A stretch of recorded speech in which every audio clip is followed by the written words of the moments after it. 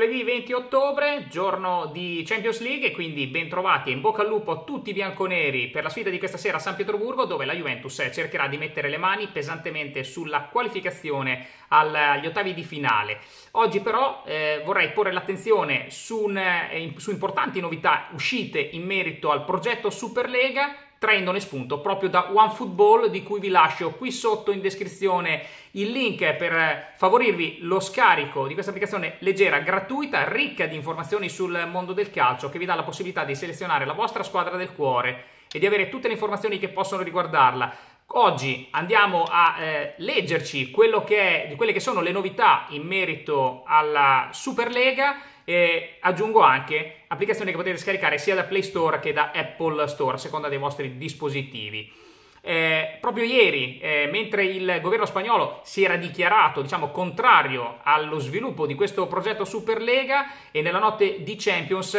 il sito Marca eh, fa trapelare un documento eh, diciamo, eh, relativo ai eh, promotori di questo torneo che puntano appunto a concedersi una seconda possibilità per la nascita di questo progetto che ad aprile era nato e morto, sepolto, sembrava, eh, in appena 48 ore.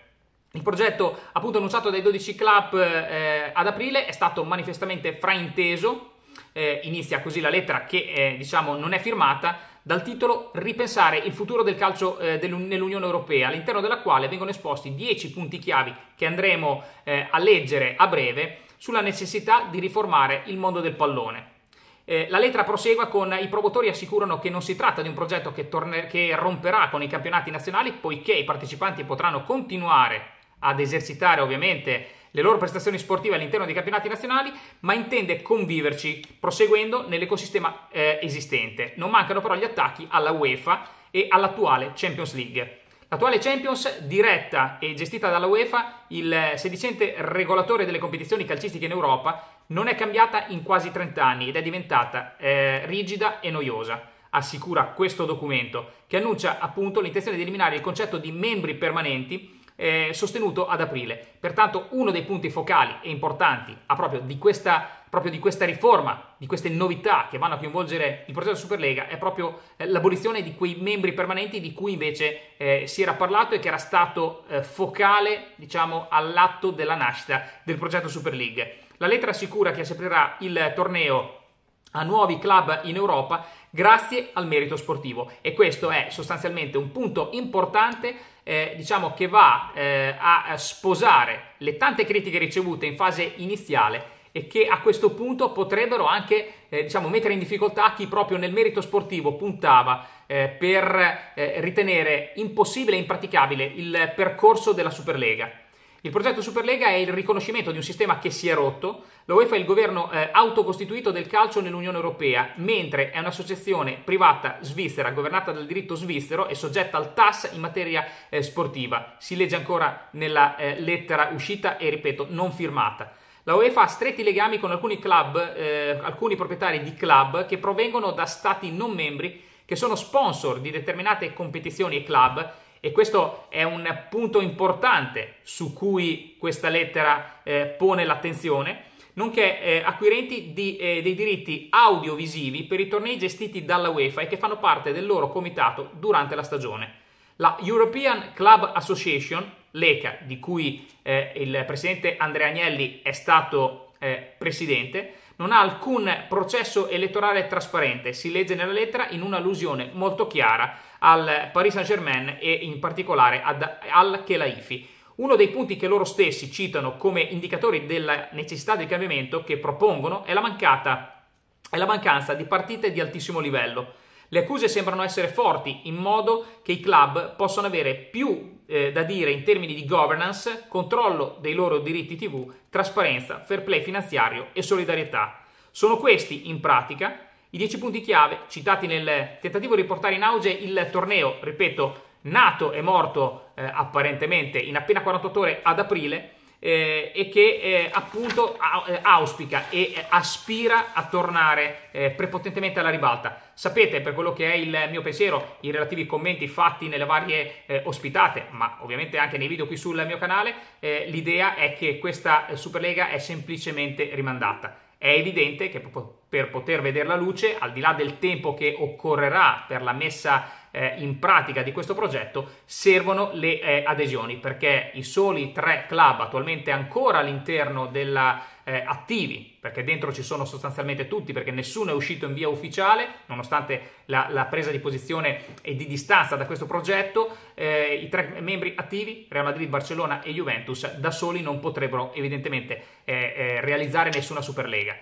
Eh, vediamo i 10 punti. La Superlega non è una proposta che romperà l'ordine stabilito o abbandonerà i campionati nazionali. Punto eh, essenziale, fondamentale, che va contro quello che era stata l'imposizione della UEFA, che qualora eh, i club avessero aderito a questa eh, Superlega avrebbero dovuto abbandonare le competizioni eh, nazionali e a questo peraltro era andato dietro lo stesso Gravina eh, intimando a Juventus, Inter e Milan appunto di prendere le distanze dal progetto Superlega. Eliminato il concetto di membri permanenti, altro punto focale e determinante proprio per il merito sportivo di cui si parlava prima, per far sì che i membri, eh, eh, i club, eh, no i membri, i club che possono partecipare possano farlo per meriti sportivi.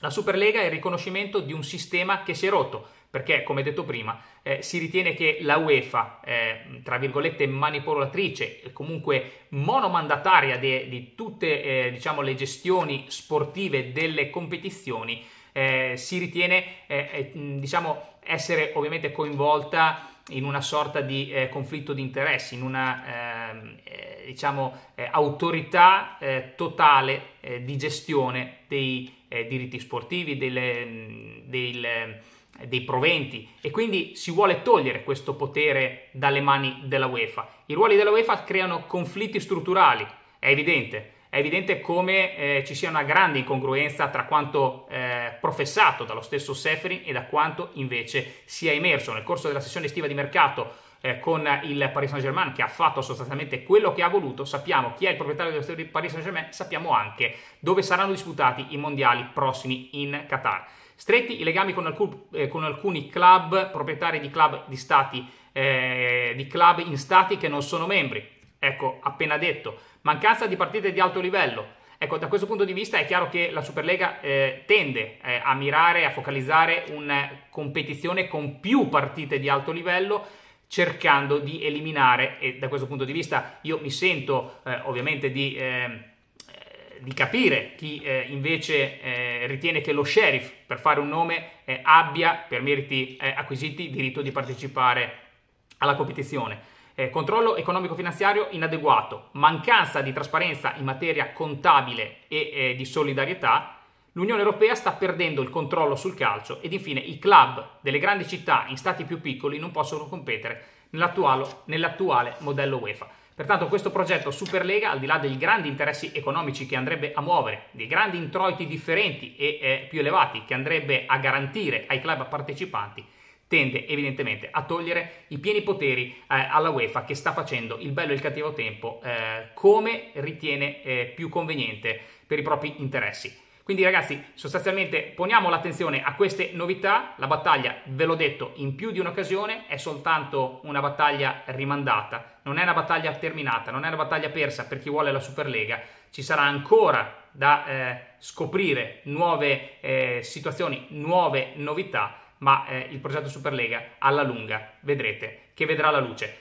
Lasciatemi i vostri commenti, intanto ci vediamo dopo eh, Zenit San Pietroburgo Juventus per commentare il match di Champions League di questa sera. In bocca al lupo alla vecchia signora. Ciao, fino alla fine, forza Juve. Iscrivetevi al mio canale YouTube, mettete like al video, seguitemi sui social che vedete qui accanto e ci vediamo al prossimo video. Ciao!